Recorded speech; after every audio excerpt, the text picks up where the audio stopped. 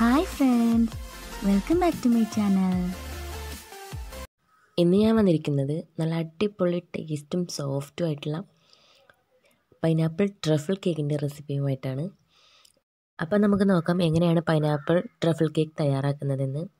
അതിന് മുന്നേറ്റ് എന്റെ ചാനൽ നിങ്ങൾ ആദ്യമായിട്ടാണ് കാണുന്നതെങ്കിൽ സബ്സ്ക്രൈബ് ചെയ്യണം.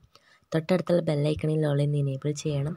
എന്നാലേ ഞാൻ തുടർന്ന് വീഡിയോസ് ഇടുമ്പോൾ നിങ്ങൾക്ക് അതിന്റെ നോട്ടിഫിക്കേഷനൊക്കെ അപ്പോൾ അപ്പോൾ കിട്ടുള്ളൂ. അപ്പോൾ നമ്മൾ പൈനാപ്പിൾ കേക്കല്ലേ തയ്യാറാക്കുന്നത്?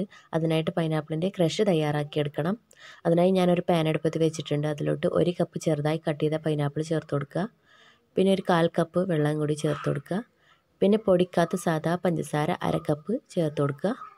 ഇത് നല്ലപോലെ മിക്സ് ചെയ്ത് ലോ ഫ്ലെയിമിലിട്ട് പഞ്ചസാരയും വെള്ളമൊക്കെ നല്ലപോലെ വറ്റി പൈനാപ്പിളൊക്കെ നല്ലപോലെ വെന്ത് വരുന്നത് വരെ ഇതൊന്ന് കുക്ക് ചെയ്തെടുക്കാം.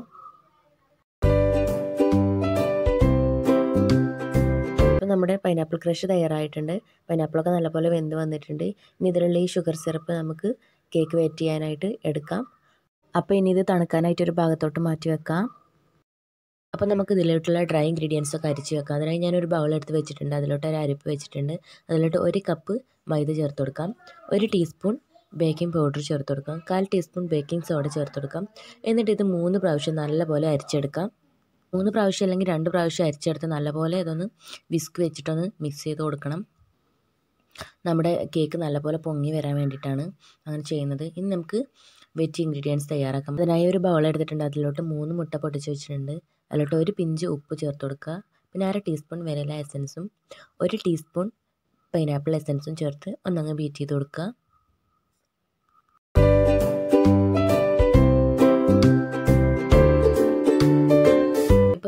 പതിഞ്ഞ് വന്നിട്ടുണ്ട്. ഇനി ഇതിലോട്ട് പൊടിക്കാത്ത പഞ്ചസാര അര കപ്പ് എടുത്തിട്ടുണ്ട് ഞാൻ അതിന് കുറച്ച് കുറച്ചായി ചേർത്ത് നല്ലപോലെ ഫ്ലഫി ആവുന്നത് വരെ ഇതൊന്ന് ബീറ്റ് ചെയ്തെടുക്കുക അപ്പോൾ ഞാനിതുപോലെ ഫ്ലഫി ആയി എടുത്തിട്ടുണ്ട്. ഈ ഒരു ടെക്സ്ചർ ആവുന്നത് വരെ ബീറ്റ് ചെയ്തെടുക്കാം. എന്നിട്ട് ഇതിലോട്ട് മൂന്ന് ടേബിൾ സ്പൂൺ സൺഫ്ലവർ ഓയിൽ ചേർത്ത് ലോ സ്പീഡിലിട്ട് ഒന്നങ്ങ് ബീറ്റ് ചെയ്ത് കൊടുക്കുക. ഓവറായിട്ട് മിക്സ് ചെയ്യരുത്. ഓയിൽ ചേർത്താൽ ഇപ്പോൾ അത് ഞാൻ ബീറ്റ് ചെയ്തെടുത്തിട്ടുണ്ട്. ഇനി നമുക്ക് ബീറ്റേണ്ട ആവശ്യമില്ല. ഇനി നമുക്ക് വിസ്ക് യൂസ് ചെയ്തിട്ട് ഫോൾഡ് ചെയ്തെടുത്താൽ മതി. ഇനി ഡ്രൈ ഇൻഗ്രീഡിയൻസ് കുറച്ച് കുറച്ചായി ചേർത്ത് ഫോൾഡ് ചെയ്തെടുക്കാം. ഇതുപോലെ പതുക്കെ പതുക്കെ ചെയ്തെടുത്താൽ മതി. ഓവറായിട്ട് കുത്തി ഇളക്കാൻ നമ്മുടെ കേക്ക് ഒട്ടും പൊങ്ങി വരില്ല.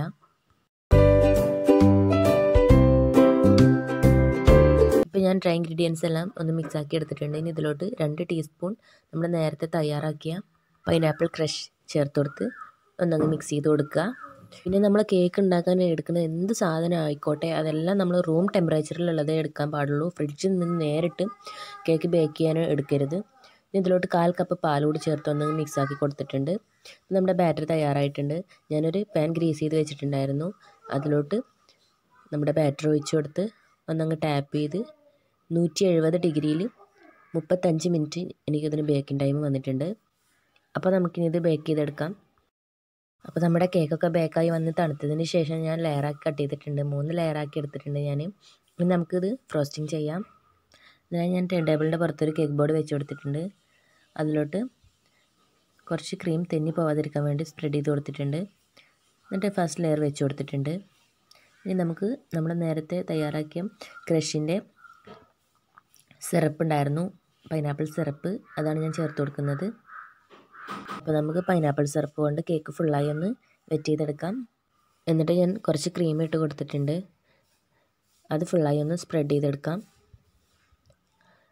ഇപ്പോൾ ഞാൻ ഫുള്ളായി ഒന്ന് ക്രീം സ്പ്രെഡ് ചെയ്തെടുത്തിട്ടുണ്ട്. ഇനി അതിന് മുകളിലായിട്ട് നമ്മൾ നേരത്തെ തയ്യാറാക്കിയ പൈനാപ്പിൾ ക്രഷ് ചേർത്ത് കൊടുക്കാം.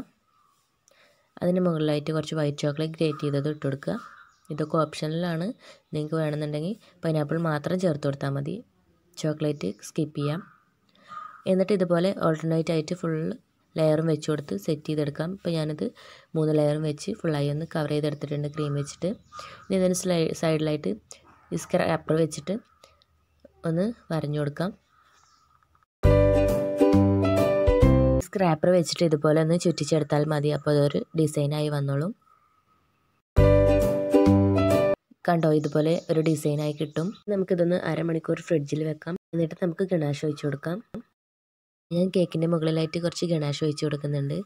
അൻപത് ഗ്രാം വൈറ്റ് ചോക്ലേറ്റിലോട്ട് രണ്ട് ടേബിൾ സ്പൂൺ വിപ്പിംഗ് ക്രീമും കുറച്ച് യെല്ലോ കളറും ചേർത്ത് ഡബിൾ ബോയിൽ എടുത്ത് എടുത്തതാണ്. ഇത് സൈഡ്സിലൊക്കെ ആയിട്ട് ഇങ്ങനെ ഡ്രിപ്പ് ചെയ്യണ പോലെ ആദ്യം ഇട്ട് കൊടുത്തിട്ട് പിന്നെ മുകളിലായിട്ട് ഫുള്ളായിട്ട് ഒന്ന് സ്പ്രെഡ് ചെയ്ത് കൊടുക്കുന്നുണ്ട്. പിന്നെ ഞാൻ കുറച്ച് വിപ്പിംഗ് ക്രീമിലോട്ട് യെല്ലോ കളർ ചേർത്ത് രണ്ട് കളറിലായിട്ട് കുറച്ച് ഫ്ലവേഴ്സും വരച്ച് കൊടുത്തിട്ടുണ്ട്. പിന്നെ അതിന് മുകളിലായിട്ട് നേരത്തെ തയ്യാറാക്കിയ ക്രഷിൽ നിന്ന് പൈനാപ്പിൾ പീസ് എടുത്ത് വെച്ച് കൊടുത്തിട്ടുണ്ട്. പിന്നെ കുറച്ച് ഷുഗർ ബോൾസ് ഇട്ട് കൊടുക്കുന്നുണ്ട്. സിൽവർ ഷുഗർ ബോൾസ് ഇതാണ് നമ്മൾ കേക്കിന്റെ final look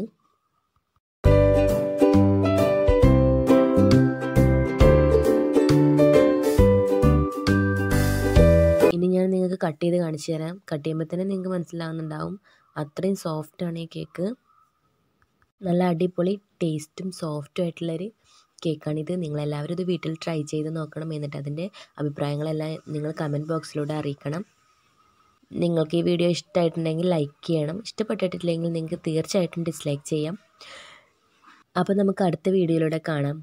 Thanks for watching my video friends